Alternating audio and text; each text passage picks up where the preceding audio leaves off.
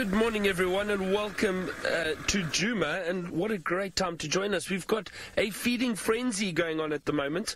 The vultures have descended upon this buffalo carcass. One of the males actually just walked off as we got here. He decided he has now had enough of this buffalo carcass. My name is Byron, and on camera with me this morning is Senzo.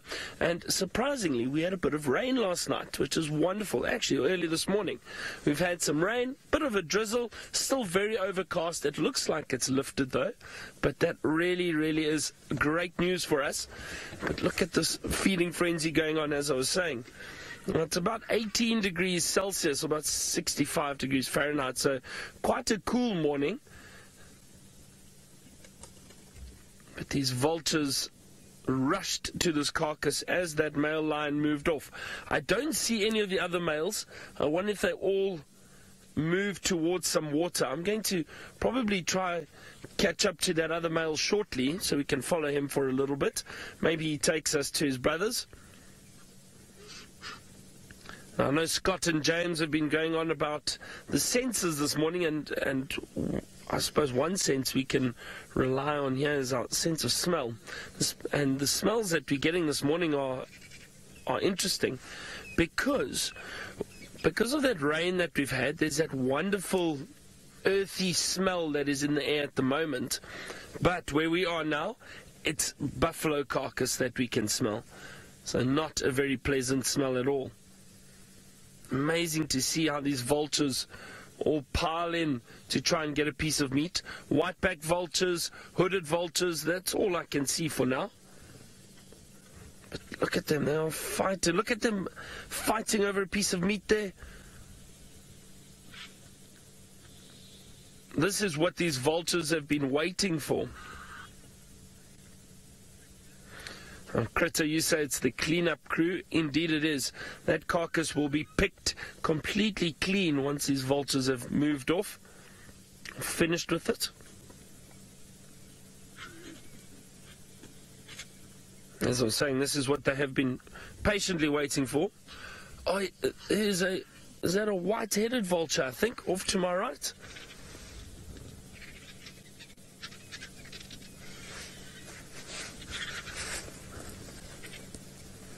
Um, just let's have a look at this one off to the right, Senzo. I think uh, it was a hooded vulture. There we go. But that one, I think, is the white-headed vulture. No, no, that's also also just a large hooded, sorry, it's a large hooded vulture. It looked much bigger than the others, but hang on. Another scavenger. Look, here comes a hyena. The lines have moved off. Wow, this is amazing.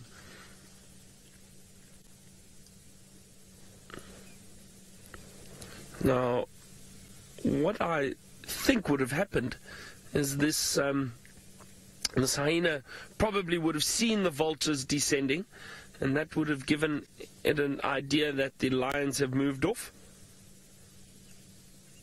But if you look at that carcass, look how clean those bones have been picked. Aulia, you asked if the vultures ever get eaten by by other um, or by predators. I've never seen it, Aulia. I've never seen it. Excuse me a second, I just want to jump on the radio quickly. Good morning. Uh, for this vulture feeding activity at this buffalo carcass and a single hyena, one of the males moved in a northerly direction, I think either towards Galago Pan or to Vuyatela Dam. I'm not sure, I've lost visual of him now.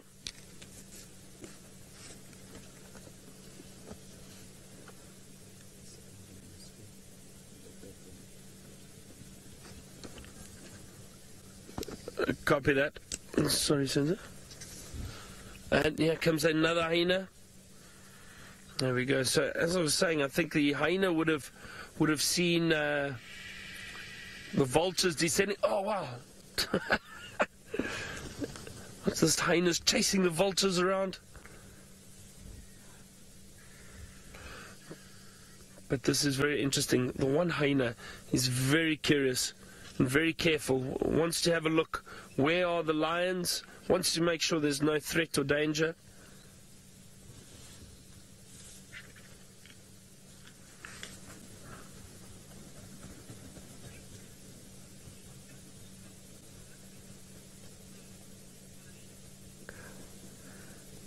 Molly, you asked, how do the vultures know where the carcasses are? Well, Molly, you um, you basically get two types of vultures: old world vultures. Look at that hyena go! Old world vultures and new world vultures. Um, now, the old world vultures are these types of vultures. Oh, this is amazing. the um, the old world vultures rely on their eyesight, um, so they would see these carcasses. They would have seen the lions, and remember, this buffalo carcass was right out in the open in the beginning. So they would have seen this buffalo carcass. And what happens is the vultures, their, their eyesight is incredible. They will be able to spot. Um, they'll be able to spot something the size of a A4 piece of paper, probably from about two kilometers away in the air. So with them circling, I mean, their eyesight, they'd see a buffalo carcass very easily from far away. They would then come down, and as they descend, other vultures further away would see the vultures coming in. That's one of the theories behind the white back vultures having that white marking on the back so they can follow one another two carcasses. They can see each other from long distances away. And those vultures will then descend from all over and come in and hopefully try and get some food.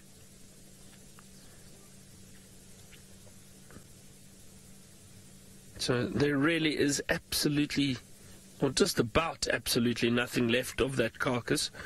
It has fed the lions very well for three days, and now the vultures have got a little bit to feed on, and they probably will feed on some more. Even the hyena are getting a little bit of the carcass. So, a lot of animals benefiting from this kill.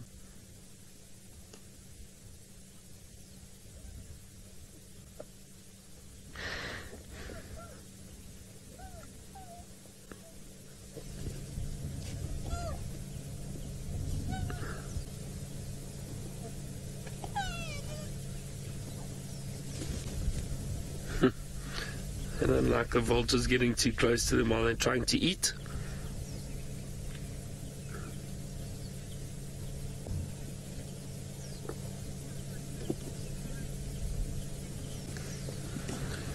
Nikki, I've never seen a vulture feed on so much meat that it can't fly anymore. Um, I've never seen that. I see the two more hyena behind us. So a lot of hyena have moved in that where the carcass was originally, which is about 50 meters away. 50, 60 meters away. Uh, two other hyena. Just back there, you might just see them you know, moving off with scraps. That's where the original, uh, well, where the kill was originally and the lions dragged it under this tree. But now the, there's very little left, and watch the hyena still chasing the vultures. this is amazing interaction.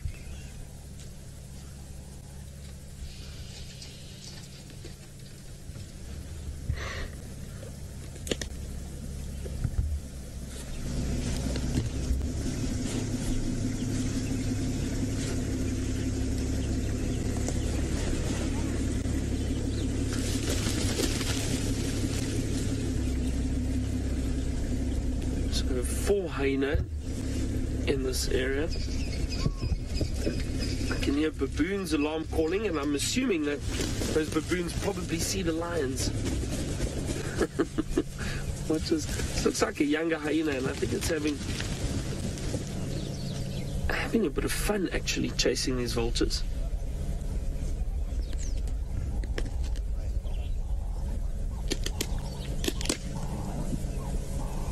Wow, listen to that hyena crunching that carcass, breaking those bones. Watch those powerful jaws going to work.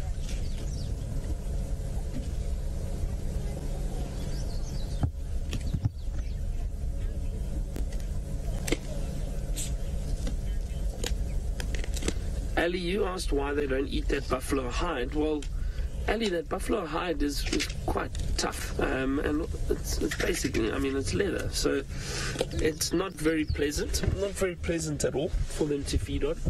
Um, and I think that's mainly why they don't feed on it. There's, nothing to gain from eating the buffalo hide. So they'll try to get the bone, they'll try get whatever meat is left. A lot, there's a lot of nutrients in the bone, but nothing really in the buffalo hide. They might eat bits and pieces of it, but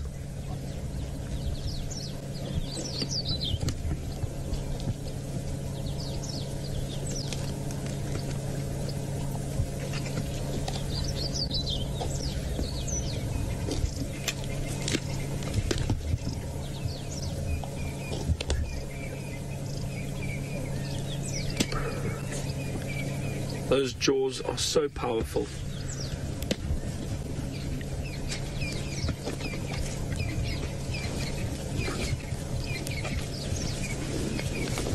Wow, some dragging this kill. I'm just going to move forward slightly. So, so sorry. Just roll forward here. There we go. That's a bit better. Let's see, it looks like there is another hyena that was making its way in this direction. Let's see if it does join. I think it will.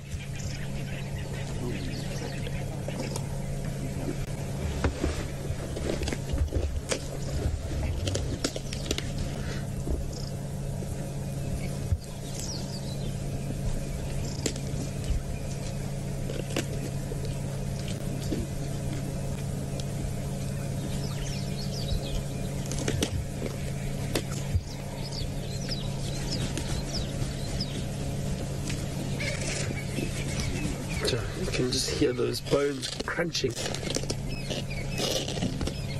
I'm trying to tear some of that sinew that is around the joints.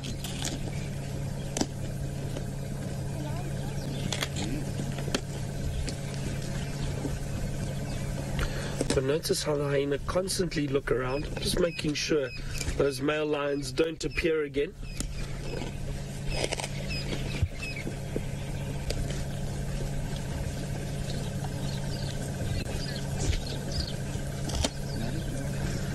Uh, I might stick around for a few more minutes and then we'll see if we can find one of those males. I'm not sure where they went. I'm sure they went to go and drink some water.